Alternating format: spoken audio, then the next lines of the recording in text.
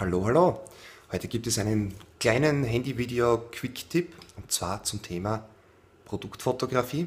Naja, nicht wirklich Produktfotografie, aber zumindest mal, damit man Fotos erstellen kann, um sie zum Beispiel um Produkte oder Gegenstände, Objekte in Tauschbörsen oder eBay und so weiter zu versteigern, zu verkaufen. Ja. Die meisten Handyfotos oder die meisten Produktfotos sehen so aus oder so. Das heißt, meistens irgendwo in der Wohnung abgeknipst, auf dem Boden hingelegt. Meistens sieht man auch einen Wäscheständer im Hintergrund und so weiter. Das, naja, ist nicht wirklich Sinn der Sache oder das Produkt verkauft sich dann nicht wirklich gut. Hier möchte ich dir ganz kurz zeigen, wie man mit einer Lichtquelle, ist egal ob ein Beauty-Tisch oder ein Aufsteckblitz oder sonst irgendetwas, und einem einfachen weißen Tisch hier im Hintergrund und einer Standard Kamera mit einem Standardobjektiv schnell und einfach und effektiv sehr schöne Fotos erstellen kann. Eines der wichtigsten ja, Requisiten oder Zubehörteile, abgesehen vom, vom Tisch und der Kamera und dem Licht, ist eigentlich dieses Teil hier. Der Grund ist nämlich der, wenn man hier glänzende, glatte Oberflächen hat, also wie in diesem Fall hier einfach Feuerzeuge, ähm, die haben so einen leichten Staubkörner oben oder Fusserler oben oder was auch immer. Und diese muss man dann entweder retuschieren, das ist viel Arbeit, oder man verwendet eben einen Pinsel, um hier ganz schnell und einfach ähm, die meisten Staubkörner und Unreinheiten zu entfernen. Ja. Noch ein Tipp vielleicht, man kann auch ähm, standardmäßig Fensterputzmittel und eine Küchenrolle verwenden, um hier die Oberflächen oder die Gegenstände einfach ein bisschen zu reinigen. Je schöner das Produkt einfach ist oder das Objekt einfach ist, umso besser wird es sich verkaufen. Hier mal das erste Foto.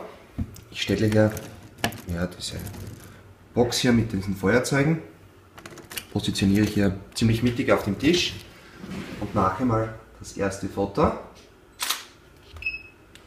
Und wenn ich es mir im Detail ansehe, sehe ich hier, ich blende das Foto gleich ein, sehe ich hier sehr viele Staubkörner oben. Mit dem Pinsel die Oberfläche etwas abpinseln. Es funktioniert übrigens nicht nur mit Produkten, sondern auch wenn man für sich selbst, zum Beispiel Modellbauer machen das gerne, seine äh, ihre Modellbauten abfotografieren wollen und dann als Erinnerung Problem ist eigentlich immer das gleiche.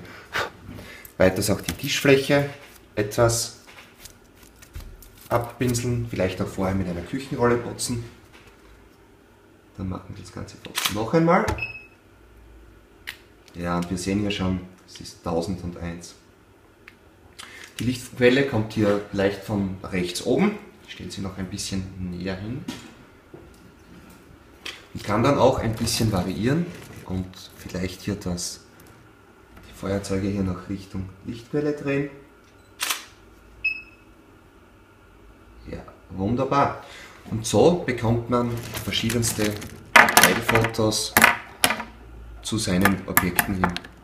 Man kann ja auch noch mit dem Blickwinkel etwas variieren von der Kamera her.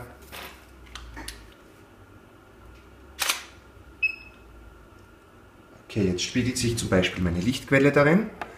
Jetzt habe ich verschiedenste Möglichkeiten. Jetzt kann ich entweder hier die Lichtquelle entfernen, das bringt mir allerdings nicht viel. Oder einfach meinen Blickwinkel etwas ändern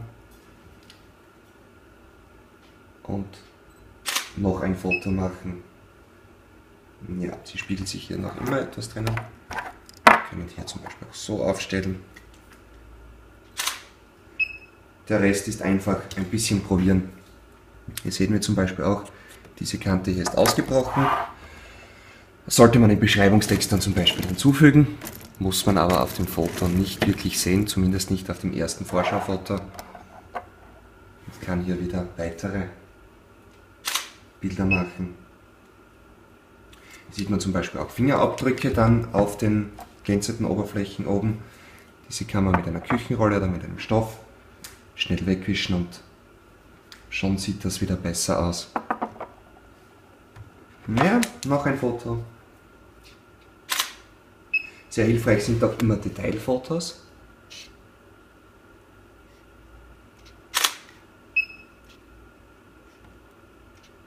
Hier muss man natürlich je nach Objektiv und, und, und Brennweite darauf achten, dass man nah genug hinkommt.